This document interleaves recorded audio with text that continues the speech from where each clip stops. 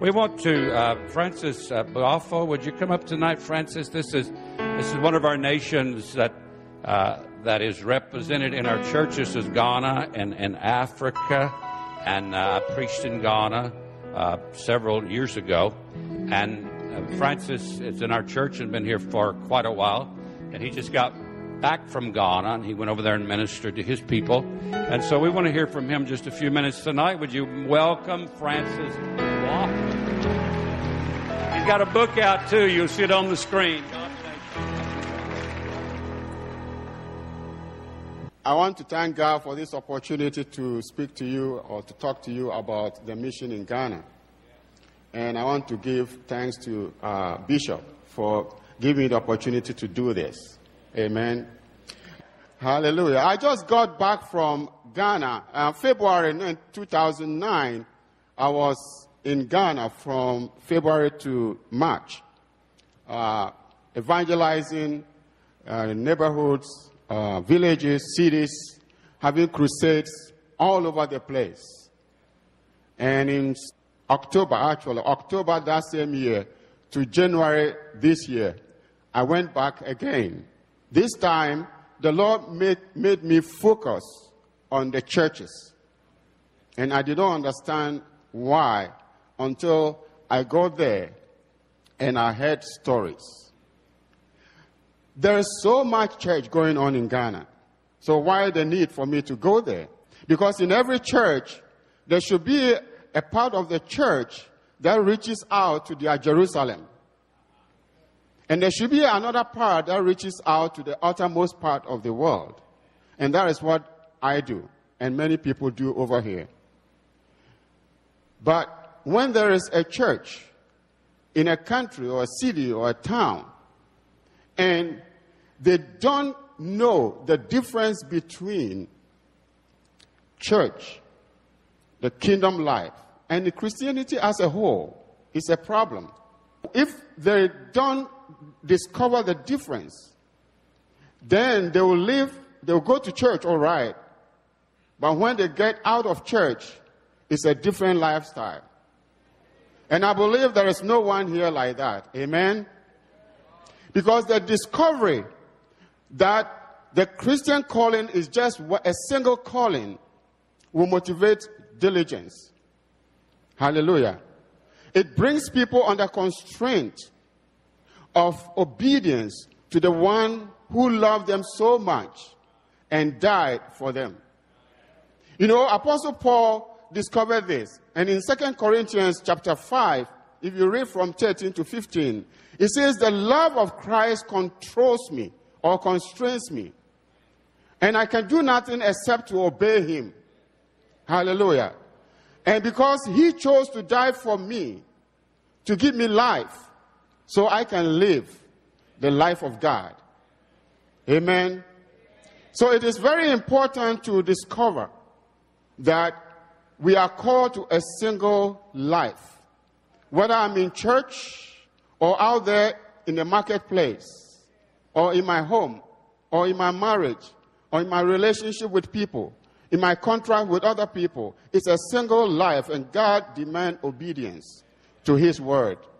The Bible says Jesus, when He put on the body, He learned obedience through the things that He suffered. And He was perfected. And He never sinned even a single time. Again, the Bible says that He was called the Son of God with power through the spirit of holiness. We are the children of God. Amen. So there should be some holiness going on in our lives. It's not a matter of getting to church and being satisfied with church. We have somewhere going. We're going to the kingdom of God, the kingdom of heaven. And in the kingdom of heaven dwells the consuming fire of God.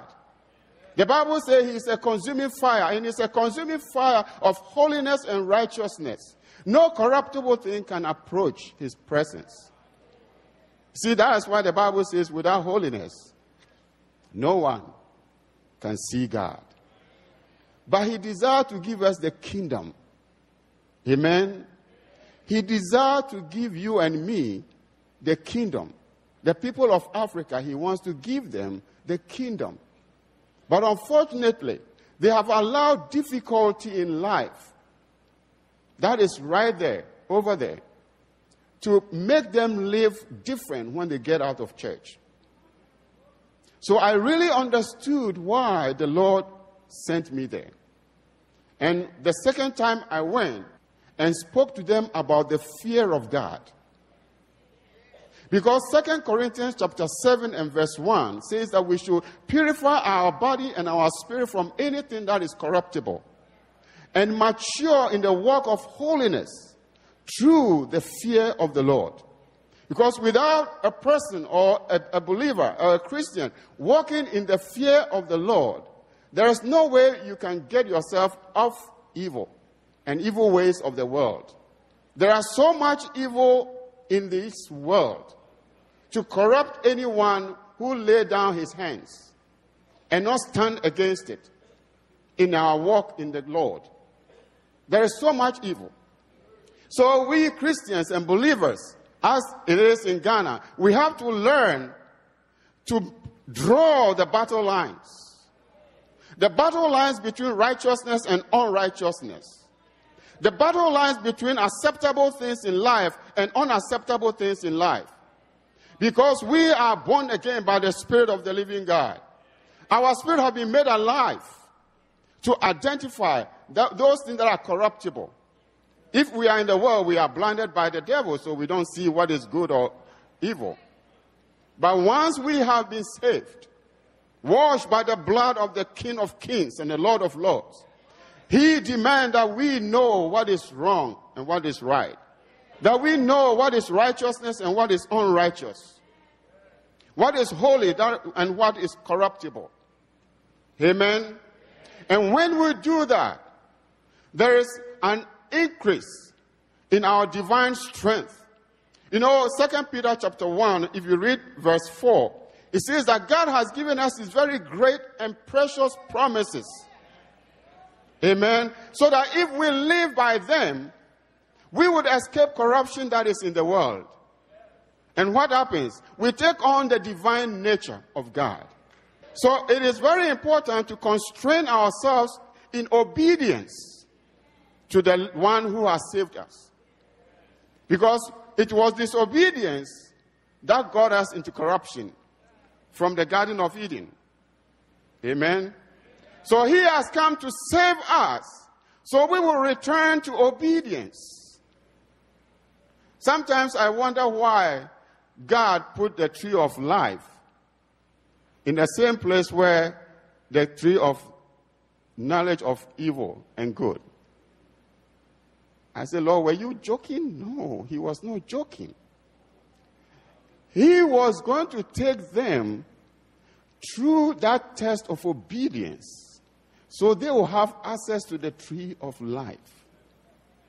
See, Jesus came and God put him in the garden and he was tested and he won the victory. The Bible says he, has, he was given life so that he will be the source of life for each and every one of us.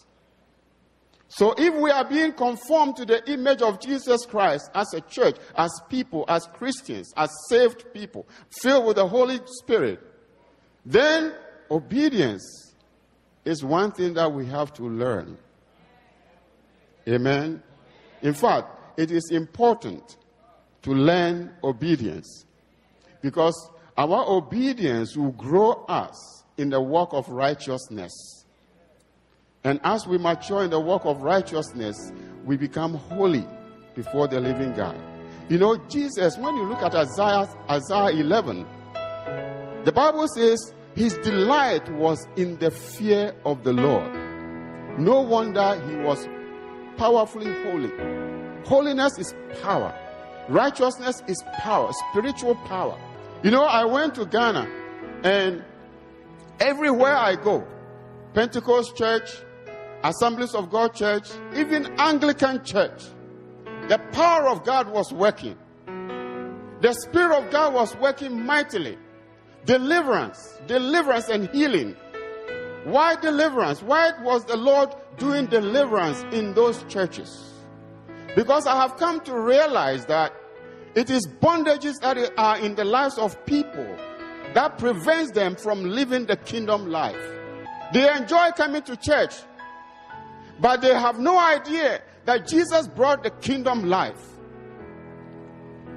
Kingdom life will put you under constraint to obey the one that you have has saved you. So it is very important to discover that Christianity itself is kingdom life.